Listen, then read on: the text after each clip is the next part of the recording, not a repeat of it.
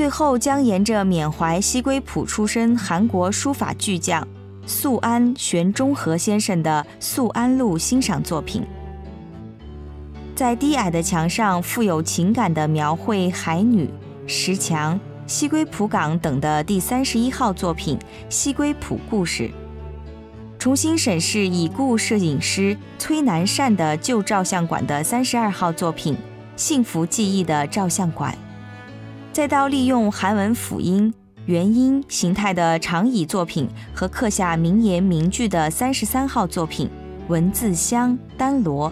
素安路处处都充满艺术之香，在素安纪念馆里欣赏完素安先生的遗物和作品、企画展等后，作家散步路的旅程就会结束。在沿着和美丽的自然相互交融的诸多艺术作品一路走来的道路尽头，我们看到了真正的乌托邦。